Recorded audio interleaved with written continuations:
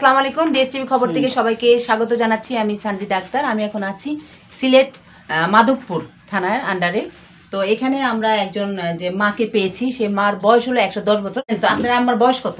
আমার আমার বয়স হলো ওয়ান হান্ড্রেড টেন। ও তো একশো দশ বছর। তো আপনি কত সনে জন্ম নিয়েছেন কত সনে তাহলে? শুনটা আমি অবশ্য বলতে পারব না সঠিকভাবে। জি। এমনি ভোটার আইডি টিকিট আছে। এমনি ভোটার আইডি ভোটার আইডি কার্ডে কত বছর লেখা আছে? ইতে মতো আইসি তুলে দিলেছি। কোন আছে ভোটার আইডি আপনার তো জানা আছে ষাট পঞ্চাশ ষাট এরকম একটা যে যে এইরকমই আমার জানা আছে আর কি। মানে আমরা একটা হিসাব করছিলাম ভোটার আইডি ধরে একশো দশ বছর হলে। Voter ID card. ধরে একশো দশ বছর। একশো দশ বছর। আচ্ছা এই যে আপনি একশো দশ বছর ধরে এই পৃথিবীতে আছেন সবার সৌভাগ্য হয় না? সবার সৌভাগ্য হয় না?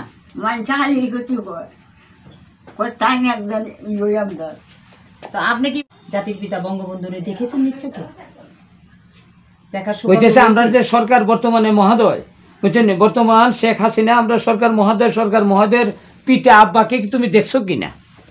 বুঝছেন তোমার তো বয়স একশো দশ। দশ বছর।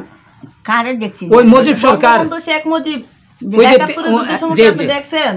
হ্যাঁ একাত্তরের পরে কি আপনি দেখেন ওই যে তেল্লাপাড়া আসছেন আর কি তেল্লাপাড়া কিন্তু উনি কিন্তু আসছেন একবার। হ্যাঁ, আসছিল যে তখন দেখছিলেন আপনি?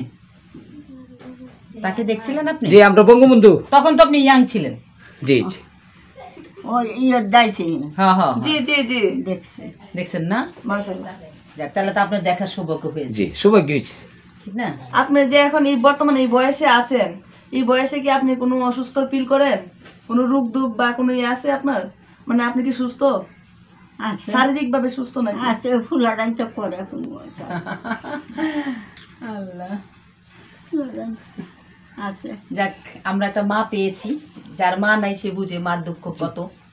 একশো দশ বছর আল্লাহ তাকে কথা? দিয়েছে। শুন হয় আমার পড়াই গেলি দেয়। খালি দেয় সরকার মানুষ লই বয়স্ক ভাতা পান? যে বয়স্ক ভাতা ভাই বয়স্ক ভাতা পান না? বয়স্ক। ভাতা তাহলে সরকার তো ভালো একটা সুযোগ সুবিধা দিয়েছে। কান্না করবেন না কান্না করবেন না আপনি তো খুশি আমরা আসলে সরকারকে সাধু আমরা সরকারকে সাধুবাদ জানাচ্ছি যে সরকার যে এই যে বয়স্কর ভাতা তৈরি করেছে যদি এই বয়স্কর ভাতাটা না দিত তাহলে অনেক বয়স্কর মানুষ অসহায় হয়ে যেত। তো আমরা আসলে সরকার ধন্যবাদ জানাচ্ছি সরকারকে। এই মা যে বয়স্ক ভাতা পাচ্ছে এটাই অনেক কিছু ঠিক না? এই ছেলেরা কি আপনার যত্ন নেয়? টাকা পয়সা দেয়। ওষুধ টষুধ কিনা দেয়? ছেলের বউরা কি যত্ন করে? করে। আদর করে? নাতি নাতনি? আমার সোনা সোনা আমার আমার তানি আমার করতে আছে। জি জি। করতে নাতি নাতনিকে আপনার নামাজের মশলাটা উজু পানিটা দেয়?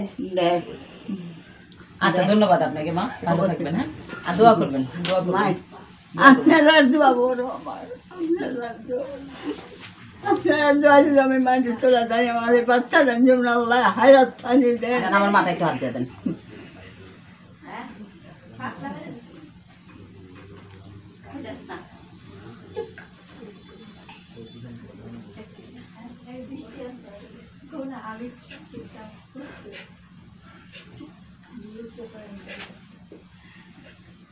আমার দিবেন না? জি।